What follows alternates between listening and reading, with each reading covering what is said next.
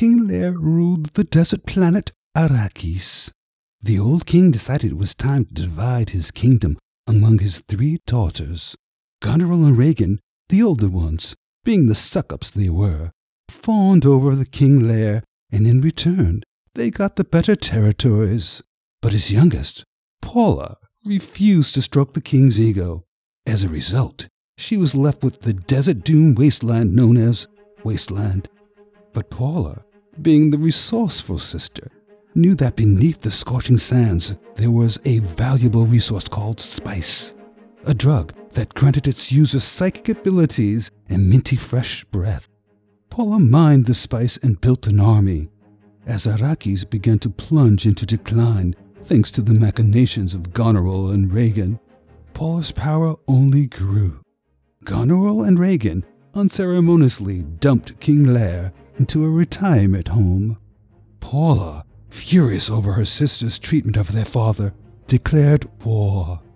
Soon, Paula and her sister stood on the desert battlefield to face one another, each of their armies behind them.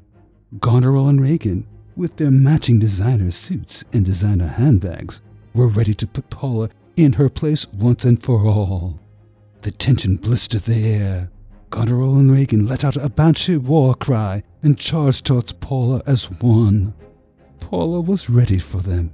With a flick of her hand, Paula summoned her stand, Desert Rose, a powerful entity that manifests as a giant humanoid made of sand.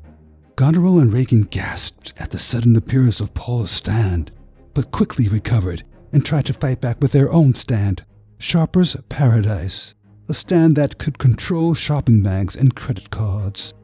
But Paula's Desert Rose was too powerful, and it quickly beat down Shopper's Paradise, sending the sisters flying with their fancy bags and credit cards. Paula then shouted, Muda, Muda, Muda! And her stand unleashed a flurry of punches on her sister's armies, leaving Goneril and Regan defenseless.